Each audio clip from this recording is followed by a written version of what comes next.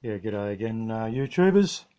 Um, just wanted to quickly talk about, uh, just a real quick video actually today, just wanted to talk about the uh, ignition lock on a BA Falcon. I got a phone call from the old girl the other night saying that her car had uh, stopped, it wasn't doing nothing at all. She'd turned the key and it just wouldn't even return. Uh, so I got on the internet and there's heaps of videos out there to, uh, to, to explain it to you. That sounds like a pretty common sort of a problem with the uh, with the BA Falcons. Um, so I've got it brought home on the back of the tow truck, tray truck. Thanks to um, Steve at Carmen's uh, Towing there for bringing it home for us.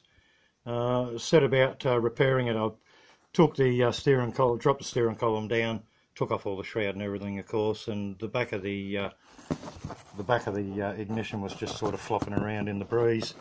put it all back together again. Uh, went to hit the key and absolutely nothing, no lights would even come on or anything. Uh, so I went into town this morning, um, into uh, Lester's Automotive and spoke to uh, the boys in there. Um, Shane is absolutely bloody fantastic, he's a real whiz with electronics. and he said it should just be a fuse um, near the battery, so I changed the fuse, expecting just to hit the key again and away she'd go, but that wasn't the case. So I thought I'd better pull her apart and have a look to, to see. Obviously, something wasn't quite right for it to blow the fuse immediately.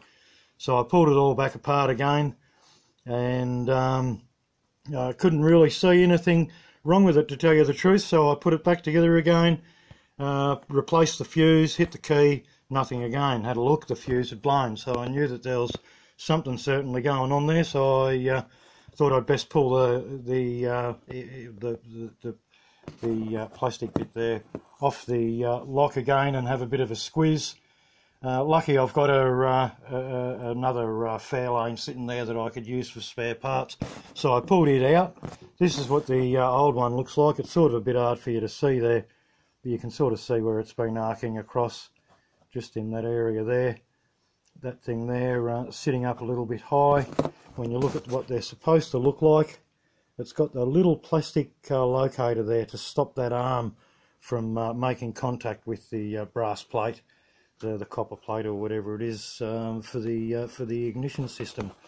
So uh, yeah, pretty much that's it. I'll, hopefully that will sort the problem out, but I'm not sure whether anyone else has come across that problem.